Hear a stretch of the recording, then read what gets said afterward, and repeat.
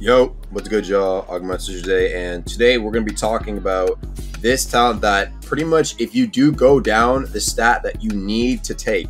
Now, a lot of people already have probably taken it, but they don't know how strong it actually is. They don't know the specifics. Today, we are talking about chaotic charm.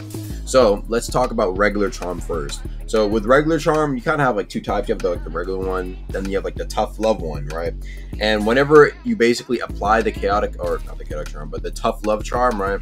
Um, that's with a mantra, and it would just make it to where you take 10% less damage from your opponent, and you do 10% more damage to your opponent, right? So you have like the two variants there. But then there's the third one, technically fourth, but there's a third one, right? Chaotic charm. Now, how the chaotic charm procs is that when you're below 25% health, every M1 that you take, I'm not even joking, every hit that you take, you automatically proc Chaotic Charm on your opponent. Now, what does Chaotic Charm exactly do? It makes it to where you take 20% less damage. That's right, literally for like 15 seconds because it also has the same stat requirement as Everlasting Charm, which is 15 seconds long. So every M1 that you take procs a 15 second long, 20% damage reduction charm on your opponent. And it'll happen every single M1. There's no cooldown, I kid you not. So it's basically a better to the finish. I'm not even joking. It's literally just a better to the finish, which I don't know why Charm is like this, but yeah, that's why it's actually really, really good. So if you are ever like rerolling for armor enchants,